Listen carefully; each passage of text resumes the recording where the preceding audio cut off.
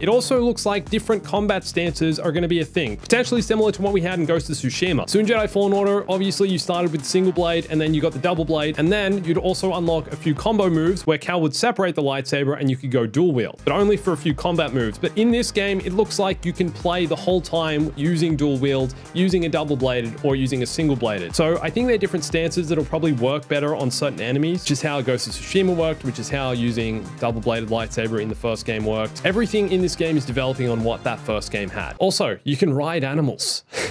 I don't know what this thing is. Kind of looks like a buckabeak. Cal is riding it like a horse and slices a battle droid in half as he's riding it. So I think the worlds in this game are going to be even bigger and you're going to have to use animals to get around. I forgot to mention there's another force ability here where Cal grabs this stormtrooper, or what do you call it, riot trooper, and he uses the stormtrooper's gun to shoot the other stormtroopers. I'm pretty sure you couldn't do that in the first game. And then he slices him in the back in true Jedi fashion. Keepers of the peace, not soldiers. If you enjoyed this clip, consider watching the full video here. Come check out the main channel.